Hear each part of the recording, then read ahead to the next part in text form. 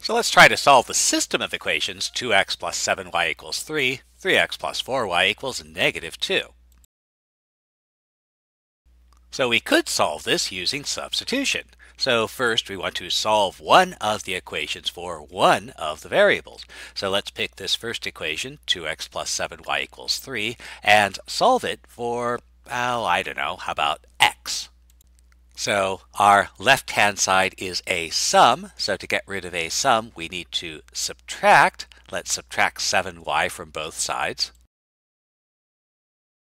So now we have a 2x equal 3 minus 7y, and our left-hand side is a product, 2 times x. So to get rid of a product, we'll divide. So over on the left-hand side, we have a common factor of 2, which we can remove. And over on the right-hand side, we have this rational expression. So solving the first equation for x gives us x equals 3 minus 7y over 2. Equals means replaceable, so we can replace this in our second equation and solve for y. And we get this rather nightmarish expression which we have to then solve for y, and we ask ourselves what were we thinking when we tried to solve this by substitution?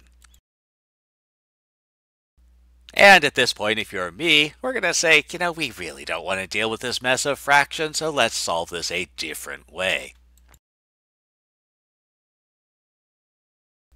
So we can use the addition method. So here we want to look at the coefficients of a variable. Again, how about x? And we'll multiply each equation by the coefficient of x in the other one, changing one of the signs.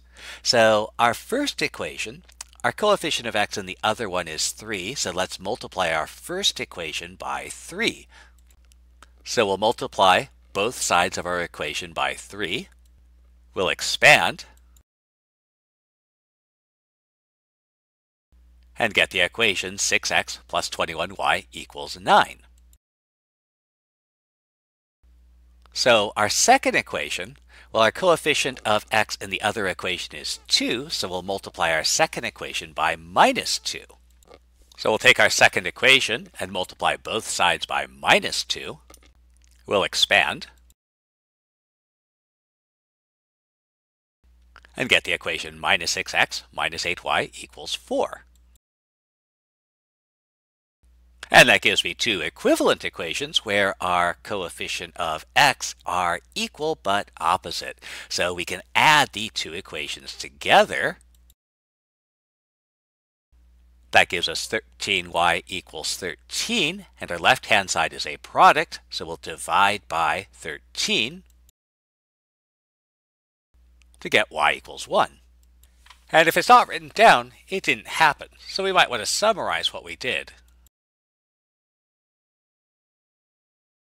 So the first time through, we multiplied by the coefficients on x. Well, let's multiply by our coefficients on y. So we'll take our first equation and multiply it by the coefficient on y in the other equation. So we'll multiply the first equation by 4, which gives us 8x plus 28y equals 12.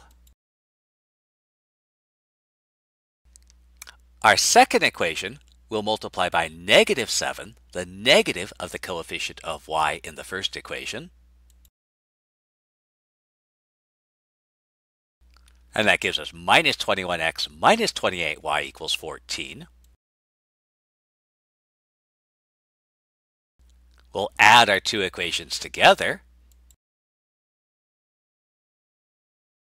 That gives us minus 13x equals 26. Our left-hand side is a product, minus 13 times x, so we'll divide, and we'll get x equals negative 2 as our solution.